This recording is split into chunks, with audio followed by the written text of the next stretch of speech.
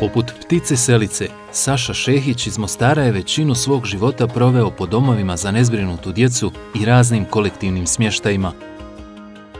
U domu ima puno i ne može se i jedan odgajate ili asistenti s njima raditi sa jednim odmah, nego treba se posvetiti svima.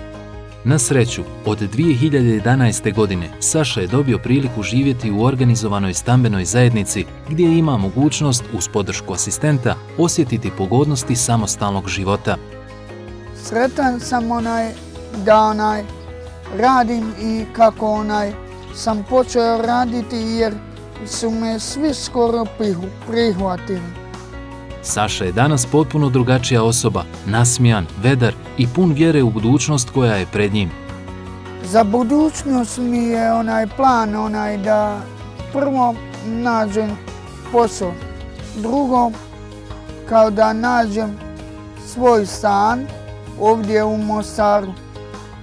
Ko zna, možda sljedeća Sašina selidba bude i konačna kada će imati vlastiti dom i porodicu sa kojom će živjeti sretno do kraja života.